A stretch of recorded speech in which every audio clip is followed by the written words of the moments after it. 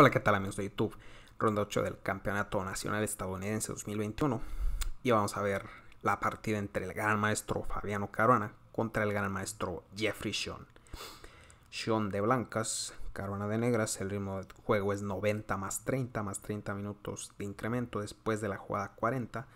Y sin más, vamos a ver qué pasó.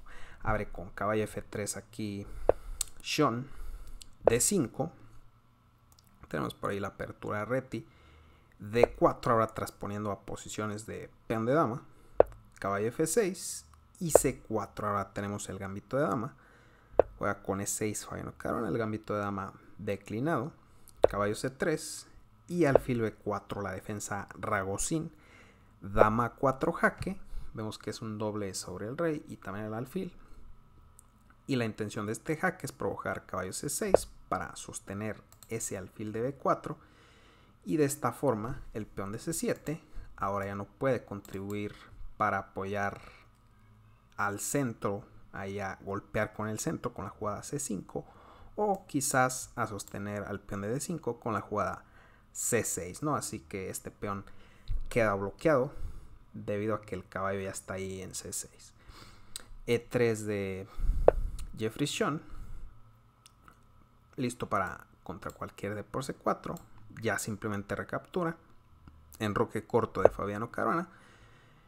Y es interesante también aquí la jugada alfil de 7 del negro, que es también considerada una de las líneas principales. Además de que el blanco puede caer en el truco que tiene esta jugada. Aquí existe una celada escondida. Por ejemplo, supongamos que el blanco hace cualquier jugada natural, algo como alfil de 2, que es bastante natural pues se dejaría ya el truco aquí con caballo por D4, tocando la dama. ¿Y qué pasa si dama por D4? Pues caballo C2 y perderías la dama.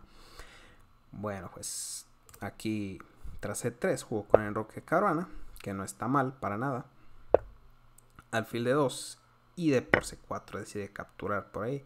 Alfil por y alfil de 6. El alfil regresa a D6 para apoyar la ruptura E5, dama C2 la dama en A4 también ha cumplido su rol de provocar la jugada caballo C6, desubicando ese caballo, por lo que regresa a C2 para dar paso a la movilización de los peones blancos con una posible expansión ahí en el flanco de dama. E5 rompiendo en el centro, peón por, caballo por, caballo por, alfil por y F4 aquí tocando ese alfil. Alfil por C3, recaptura de alfil nada más. Y G6 prepara la jugada alfil F5 ahí con ganancia de tiempo sobre la dama. E4 evitando este alfil F5 y torre 8 metiendo mucha presión sobre el peón en E4. Alfil de 3 sosteniendo ese peón. Y aquí le mete caballo por E4 Fabiano Caruana. Y le mete el sacrificio de pieza. Aunque, como vamos a poder ver, va a recuperar su material. Tras alfil por E4 juega alfil F5 ahora incrementando la presión sobre esa pieza clavada en E4, alfil E5 intentando sostener todo por ahí, alfil por, por forzando la jugada dama por E4 y tras F6 vemos que hay una clavada sobre la dama, además otra clavada detrás sobre el rey, ¿no? así que una jugada como dama C4 no serviría de mucho ya que la clavada sigue en efecto, tras algo como enroque simplemente se puede capturar y torre por E5. Tras F6 jugó enroque aquí Sean y Caruana recupera su pieza con F por E5. Peón por y dama E7 incrementando la presión sobre el peón en E5. Dama por B7, dama por E5. Ahora se amenaza por ahí. Es una idea, ¿no? Ese torre B8 metiendo mucha presión sobre B2. Así que B3. A5 para meter una 4 y deshacerse de ese peón débil, ese peón aislado. Torre C1 tocando en C7, C5 evitando la captura y dama B5 metiendo presión sobre el peón en C5. A4 aquí de Caruana.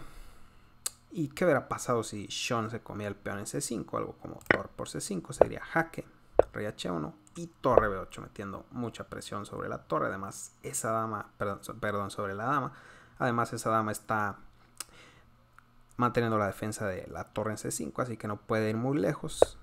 Algo como dama C6 para sostener la torre y seguiría A por B3 tras A por B. Es verdad que en B3 todavía no puedes comer porque se te cae la torre N8 con jaque.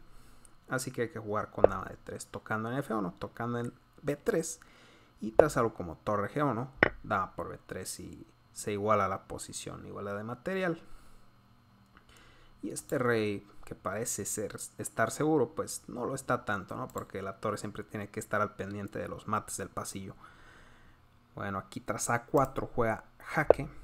Primero Jeffrey Sean, dama de 6 y decide comer en A4.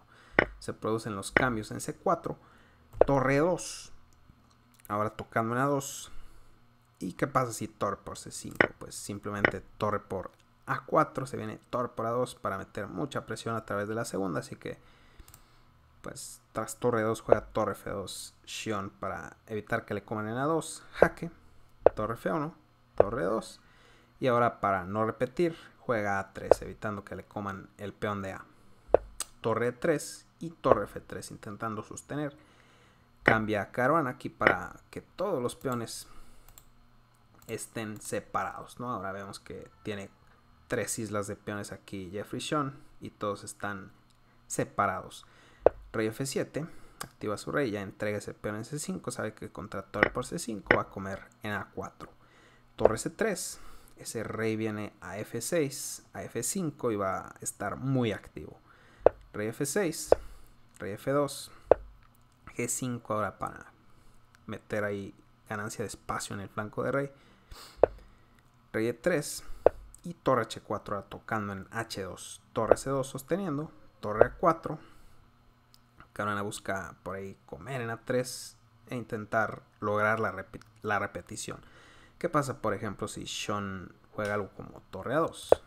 Para evitar la repetición de jugada sería rey F5 y es casi imposible que el blanco pueda progresar gracias a la excelente ubicación de la torre en A4. Vemos que corta el rey muy bien aquí en la cuarta fila. Y por ejemplo, tras algo como rey de 3 para intentar ir a B3 y echar esa torre de A4, seguiría simplemente rey F4 y la actividad del negro es suficiente para lograr las tablas. Tras torre, C, torre A4 jugó torre C3 se produce la repetición ahí, torre H4, torre C2, torre A4, torre C3 y torre H4, triple repetición, por lo que termina en tablas. Bien, ahora sí vamos a ver cómo queda la tabla de posiciones después de las primeras ocho rondas. Ya nada más quedan tres, así que está a punto de terminar ya el torneo. Tenemos ahí a Alex Lenderman, Wesley So y Samuel Sevian, los tres con 5 puntos. Leonel Domínguez, Ray Robson empatados con 4 y medio. Fabiano Carana con 4. Darius Swerks, Lázaro Brusón, Sam Shankland y Daniel Adoliski empatados con 3 y medio. Y ya de último lugar John Burke y Jeffrey Sean empatados con 3 puntos. Todas las demás partidas terminaron en tablas, así que prácticamente se mantuvieron en las mismas posiciones hasta antes de la ronda 7, ¿no? Y bueno amigos, hasta aquí el video, espero que les haya gustado. Dejen su like, suscríbanse, compartan el video, dejen sus comentarios. Hasta la próxima.